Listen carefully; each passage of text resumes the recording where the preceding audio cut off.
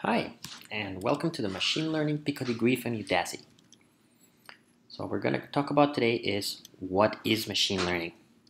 Well, this is the world, and in the world we got humans and we got computers. And one of the main differences between humans and computers is that humans learn from past experience, whereas computers need to be told what to do. They need to be programmed, so they follow instructions. Now the question is, can we get computers to learn from experience too? And the answer is yes, we can. And that's precisely what machine learning is. Of course, for computers, past experiences have a name. It's called data. So in the next few minutes, I'm going to show you a few examples in which we can teach the computer how to learn from previous data. And most importantly, I'm going to show you that these algorithms are actually pretty easy and that machine learning is really nothing to fear. So let's go to the first example. Let's say we're studying the housing market and our task is to predict the price of a house given its size. So we have a small house that costs $70,000. We have a big house that costs $160,000. And we'd like to estimate the price of this medium-sized house here. So how do we do it? Well, first put them in a grid where the x-axis represents the size of the house in square feet and the y-axis represents the price of the house in dollars. And so to help us out, we have collected some previous data in the form of these blue dots. These are other houses that we've looked at and we've recorded their prices with respect to their size. So in this graph, we can see that the small house is priced at $70,000 and the big house is priced at $160,000. So now it's time for a small quiz. What do you think is the best guess for the price of the medium house given this data? Would it be $80,000, $120,000, or $190,000? Well, to help us out, we can see that these blue points kind of form a line. So we can draw the line that best fits the data. Now on this line, we can say that our best guess for the price of the house is this point over here, which corresponds to $120,000. So if you said $120,000, that is correct. This method is known as linear regression. Now you may ask, how do we find this line? Well, let's look at a simple example. This three points. We're going to try to find the best line that fits through those three points. Obviously, best line is subjective, but we try to find a line that works well. Uh, since we're teaching the computer how to do it, computer can't really eyeball the line, so you have to get it to draw a random line and then see how bad this line is. So in order to see how bad the line is, we calculate the error. So we're gonna, for calculating the error, look at the lengths of the distances from the line to the three points. And we're gonna simply say that the error of this line is the sum of those three red lengths. Now, what we're gonna do is move the line around and see if we can reduce this error. So let's say we move it in this direction and we calculate the error. It's given by the yellow distances. We add them up and realize that we've increased the error, so that's not a good direction to go. Let's try moving the other direction. We move it here, calculate the error. Now it's given by the sum of these three green distances. And we see that the error is smaller, so we actually reduced it. So let's say we take that step. We're a little closer to our solution. If we continue doing this procedure several times, we will always be decreasing the error and we'll finally arrive to a good solution in the form of this line. This general procedure is known as gradient descent. Now in real life, we don't want to deal with negative distances corresponding to a point being on one or the other side of the line. So what we do to solve this is add the square of the distance from the point to the line instead. And this procedure is called least squares. So we can think of gradient descent as trying to descend from a mountain. This is our mountain. Mount Everest. On this mountain, the higher we are, the larger our error is. So descending means reducing the error. So what do we do when we try to descend the mountain? Well, we look at our surroundings and try to figure out which way we can descend more. For example, here we can go in two directions, to the right or to the left. If we go to the left, then we're going up, which means our error is ascending. This is equivalent to moving the line downwards and getting farther from the three points. But if we go to the right instead, then we're actually descending, which means our error is decreasing. This is equivalent to moving the line upwards and getting closer to the three points. So we decide to take a step towards the right. Then we can start this procedure again and again and again until we successfully descend from the mountain. This is equivalent to reducing the error until we find its minimum value, which gives us the best line fit. So you can think of linear regression as a painter who will look at your data and draw the best fitting line. Uh, now this method is actually much stronger. If the data doesn't form a line, with a very, very similar method, we can draw a circle through it. Or a parabola, or even a higher degree curve. For example, the data here, we can actually fit a cubic polynomial.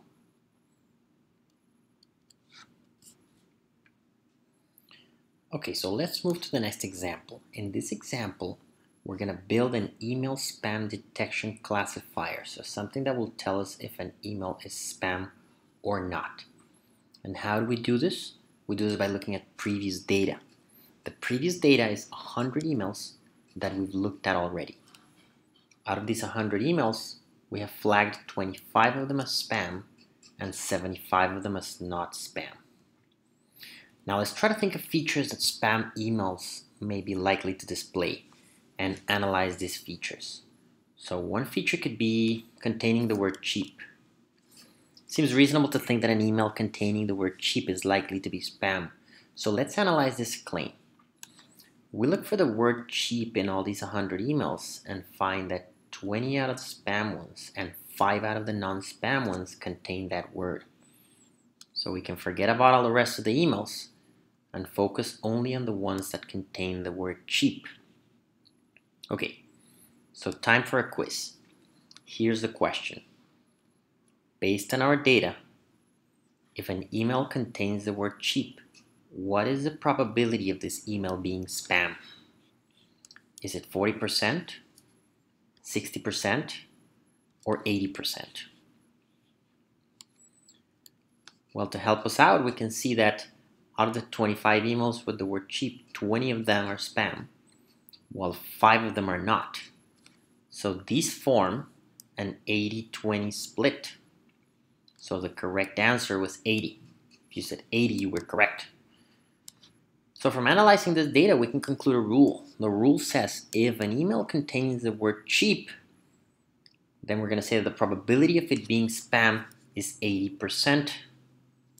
So we then associate this feature with the probability 80% and we're going to use it to flag future messages as spam or not spam. We can also look at other features and try to find their associated probability. Let's say we look at emails containing a spelling mistake and realize that the probability of an email containing a spelling mistake being spam is 70%. Or let's say we look at emails that are missing a title and find that the probability of those being spam is 95%, etc., etc. So now when future emails come, we can combine these features to guess if they're spam or not. This algorithm is known as the naive Bayes algorithm. Okay, so now another example. We are the App Store or Google Play, and our goal is to recommend apps to users. So to each user, we're going to try to recommend them the app that they are most likely to download. We have gathered a table of data that we're going to use to make the rules and the table contains six people. For each one of those six people, we have recorded their gender and their age and the app they downloaded. So for example, the first person is a 15 year old female and she downloaded Pokemon Go. So here's a small quiz. Between gender and age, which one seems like the more decisive feature for predicting what app will the users download? Well, to help us out, first let's look at gender.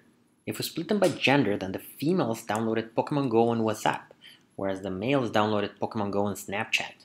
So not much of a split here. On the other hand, if we look at age, we realize that everybody who's under 20 years old downloaded Pokemon Go, whereas everybody who is 20 or older didn't. That's a nice split. So the feature that best splits the data is age. Therefore, if you said age, that was correct. So what we're going to do is we're going to add a question here. The question is, are you younger than 20? If yes, then we'll recommend Pokemon Go to you. If not, then we'll see. So what happens if you're 20 or older? Then we look at the gender. It seems like here, if you're a female, you've downloaded WhatsApp. Whereas if you're a male, you've downloaded Snapchat. So we add another question here. The question is, are you female or male? And if you're female, we recommend WhatsApp. And if you're male, then we recommend Snapchat. So what we end up here is with a decision tree. And the decisions are given by the question we ask. And this decision tree was built with the data. And now whenever we have a new user, we can put them through the decision tree and recommend them whatever app the tree suggests us to recommend. For example, if you have a young person, you recommend them Pokemon Go. If you have an older person, you check their gender. If it's a female, you recommend them WhatsApp.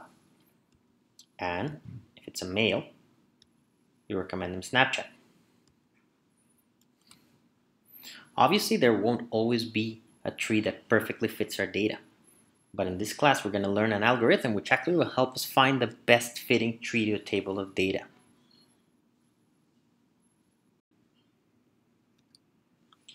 Okay, so let's go to the next example. Now let's say we're the admissions office at a university and we're trying to figure out which students to admit. We're going to admit them or reject them based on two pieces of information. One is an entrance exam that we provide them, the test, and the other one is their grades from school. So for example, here we have student 1 with scores of 9 out of 10 in the test and 8 out of 10 in the grades. And that student got accepted.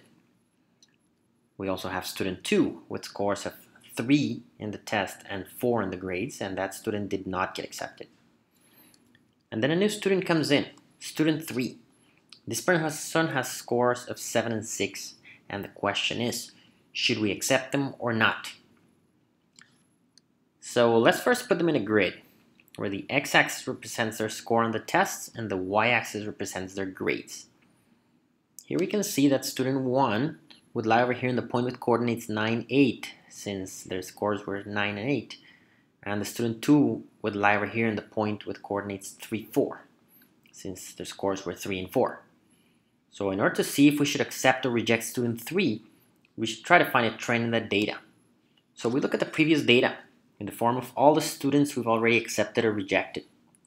And it turns out that the previous data looks like this. The green dots represent students that we've previously accepted, and the red dots represent students that we've previously rejected. So time for a quiz. Based on the previous data, do we think student 3 gets accepted, yes or no? So to answer this question, let's look closely at the data. The red and green dots seem to be nicely separated by a line. And here's a line.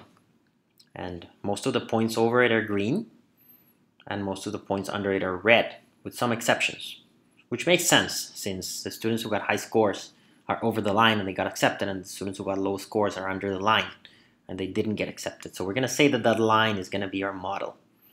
And now every time we get a new student, we check their scores and plot them in this graph. And if they end up over the line, we predict that they'll get accepted.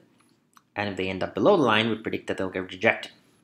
So since students 3 has grades of 7 and 6, that person will end up here at the point 76, which is over the line. So we conclude that this student gets accepted. So if you said yes, that's the correct answer. This method is known as logistic regression. The question is, how do we find this line that best cuts the data in two? So let's look at a simple example. These six points, three green, three red, and we're going to try to draw a line that best separates the green points from the red points. And again, a computer can't really eyeball the line, so it can just start by drawing a random line like this one. And given this line, let's just randomly say that we label the region over the line as green and the region under the line as red. So just like with linear regression, we're going to try to see how bad this first line is.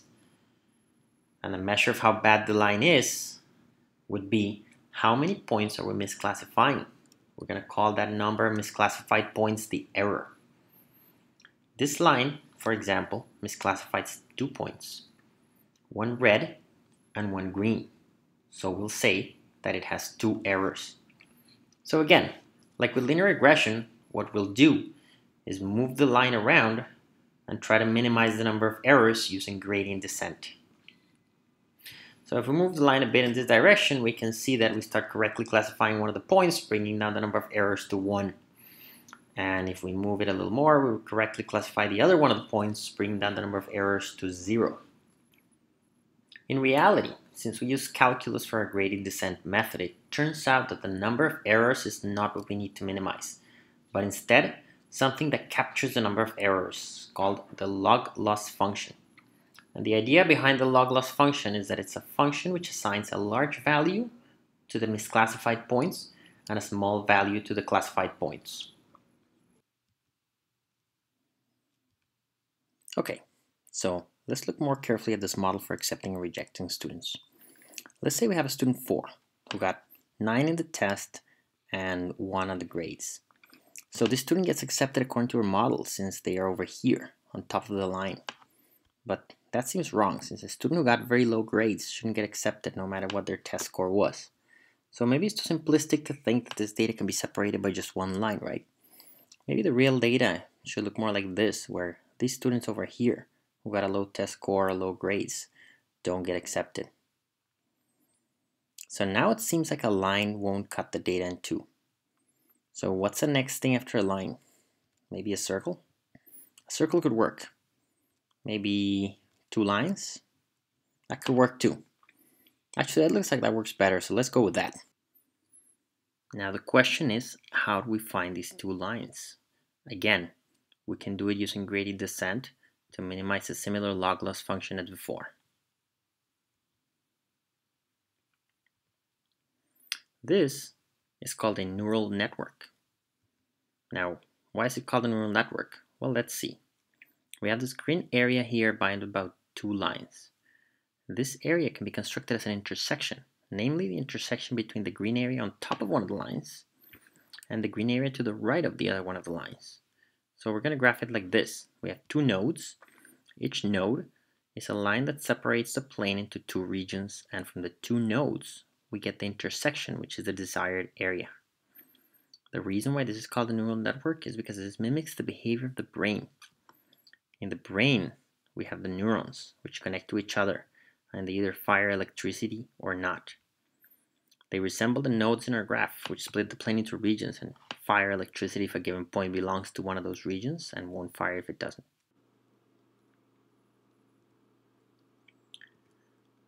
So we can think of linear regression as a ninja who will look at your data and cut it in half based on the labels. And we can think of a neural network as a team of ninjas who will look at your data and cut it into regions based on the labels. Okay, so let's dive a bit deeper into the art of splitting data into two. We can look at these points, three green and three red. And there seem to be many lines that can split them. For example, there is this yellow line and there is this purple line. So quiz, which of these two lines do we think cuts the data better? The purple one or the yellow one?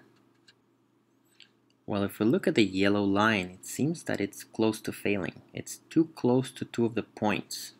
So if we were to wiggle it a little bit, we would misclassify some of the points. The purple one, on the other hand, seems to be nicely spaced and as far as we can from all the points. So it seems like the best line is the purple one. Now the question is, how do we find the purple line? Well, the first observation is that we don't really need to worry about these points because they're too far from the boundary.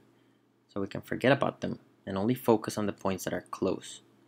And now, what we're going to use is not gradient descent, but we're going to use linear optimization to find the line that maximizes the distance from the boundary points. This method is called a support vector machine. So you can think of support vector machines as a surgeon who will see your data and cut it. But before, she will carefully look at what's the best way to separate the data in two and then make the cut. Okay, so now let's say we have these four points arranged like this and we want to split them. It seems like a line won't do the job since they're already over the line and the red ones are on the sides and the green ones are in the middle. So we need to think outside the box. One way to think outside the box is to use a curve like this to split them. Another one is to actually think outside the plane and to think of the points as lying in a three-dimensional space. So here are the points over the plane and here we add an extra axis, the z-axis for the third dimension. And if we can find a way to lift the two green points, then we'd be able to separate them with a plane. So what seems like a better solution? The curve over here or the plane over here? Well, it turns out that these two are actually the same method. Don't worry if it seems confusing, we'll get into a little bit more detail later. This method is called the kernel trick and is very well used in support vector machines. So let's study one of them in more detail. Let's start with the curve trick. So let's start by putting coordinates on the points. This one is a point 0, 03, this one is 1, 2, this one is 2, 1, and this one is 3, 0. And what we need is a way to separate the green points from the red points. So if the points coordinates are x, y, then we need an equation on the variables x and y that gives us large values for the green points and small values for the red points, or vice versa. So, quiz. Which of the following equations could come to our rescue? x plus y, the product x times y, or x squared, the first coordinate squared. This is uh, not an easy question, so let's actually make a table with the values of these equations on each of the four points. So here's our table. Here we have the four points on the top row. And now each of the other rows will be one of the functions. So here's the sum x plus y. We fill in the first row in the following way. 0 plus 3 is 3, 1 plus 2 is 3, 2 plus 1, 3, 3 plus 0, 3. Now for the second row, we're going to get the products. 0 times 3 is 0, 1 times 2 is 2, 2 times 1 is 2, and 3 times 0 is 0. And for the third row, x squared is the first coordinate square, so 0 squared is 0, 1 squared is 1, 2 squared is 4, and 3 squared is 9. So let's think. Which one of these equations separates the green and the red points. We look at the sum x plus y and that gives us 3 at every value so it doesn't really separate the points. We can look at x squared and that gives us different values for every point but we get 0 and 9 for the red values and 1 and 4 for the green ones so this one also don't, doesn't separate them. But now we look at the product x times y, and that gives us 0 for the red values and 2 for the green ones. So that one seems to do the job, right? It is a function that can tell them apart. So that's the equation we're going to use. You can see the products here. And now, for the red points x comma y, we have that the product xy equals 0. And for the green points, we have that the product xy equals 2. And what separates a 0 and a 2? Well, a 1. So the equation xy equals 1 will separate them. And what is xy equals 1? It's the same as y equals 1 over x. And the graph for y equals 1 over x is precisely this hyperbola over here. That is the curve we wanted. So that is the kernel trick. Now we can also see it in 3D here. We have the points 0, 3, 1, 2, 2, 1, and 3, 0. And we're going to consider them in 3 space. So we're going to take the map that takes the point x comma y to x comma y comma x times y. So where does 0, 3 go? 0, 3 goes to 0, comma 3, comma 0, since the product of 0 and 3 is 0. 1, 2 goes to 1, comma 2, comma 2, so it goes all the way up, since the third coordinate is the height. The point 2, 1 also goes to 2, comma 1, comma 2. And the point 3, 0 goes to 3, comma 0, comma 0. So there we go. We can split them using a plane. So you can think of a support vector machine kernel method as a surgeon who is uh, slightly confused trying to split some apples and oranges. All of a sudden she comes up with a great idea. The idea consists of moving the apples up and the oranges down and then successfully cutting a line through between them. Okay, so let's move to the next example. Let's say we have a chain of pizza parlors and we want to put three of them in this city. So we make a study and realize that the people who eat pizza the most live in these locations. And so we need to know where are the optimal places to put our three pizza parlors. Well, it seems like the houses are nicely split into three groups, the red, the blue, and the yellow. So it would make sense to put one pizza parlor in each one of the three clusters. But we're teaching a computer how to do this, and a computer can't just eyeball the three clusters. We need an algorithm. So here's one algorithm that will work. Let's start by choosing three random locations for the pizza parlors. So they're here where the stars are located. Red, blue, and yellow. Now it would make sense to say each house should go to the pizza parlor that is closest to it. In that case, we can look at the map like this, where the yellow houses go to the yellow pizza parlor, the blue houses go to the blue pizza parlor, and the red houses go to the red pizza parlor. But now, look at the, where the yellow houses are located. It would make a lot of sense to move the yellow pizza parlor to the center of these houses. Same thing with the blue houses and the red houses. So let's do that. Let's move every pizza parlor to the center of the houses that it serves, as follows. But now, look at these blue points. They're a lot closer to the yellow pizza parlor than to the blue one. So we might as well color them yellow. And look at these red points. They're closer to the blue pizza parlor than to the red. So let's color them blue. And now let's do the step again. Let's send each pizza parlor to the center of the houses that it's serving in this way. But then again, look at these red houses. They're so much closer to the blue pizza parlor. So let's turn them blue. And then again, let's move every pizza parlor to the center of the houses it serves. And now we've reached an optimal solution. So starting with random points, and iterating this process helped us reach the best locations for the pizza parlors. This algorithm is called k-means clustering.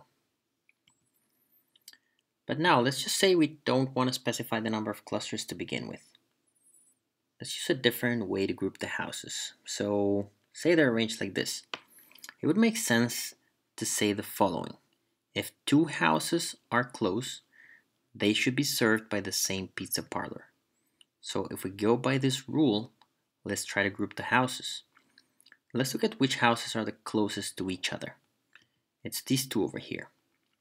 So we group them. Now what are the next two closest houses? It's these two over here. So we group them. The next two closest houses are these two. So again we group them. The next two closest houses are these two, so we unite the groups. Now the next two houses are here, so we group them. The next two closest houses are here, so we join the groups. The next two closest houses are here, but now let's just say that's too big. So all we need to do is specify a distance and say this distance is too far. When you reach this distance, stop clustering the houses. And now we get our clusters. This algorithm is called hierarchical clustering. So congratulations! In this video we've learned many of the main algorithms of machine learning. We learned to find house prices using linear regression. We learned to detect spam email using naive Bayes. We learned to recommend apps using decision trees. We learned to create a model for an admissions office using logistic regression. We learn how to improve them using neural networks. And we learn how to improve it even more using support vector machines. And finally, we learn how to locate pizza parlors around a city using clustering algorithms. So many questions may arise in your head, such as, are there more algorithms? The answer is yes. Uh, which ones to use? That's not easy. Given a data set, how do we know which algorithm to pick? Uh, how to compare them and evaluate them? Given two algorithms, how do you know which one is better than another one on a data set? Given their running time, their accuracy, uh, etc. Are there examples? Are there projects? Are there real life data that I can get my hands dirty with them? The answer to all these questions and more are in the Udacity Machine Learning Nano degree. So if this interests you, you should take a look at it. Thank you.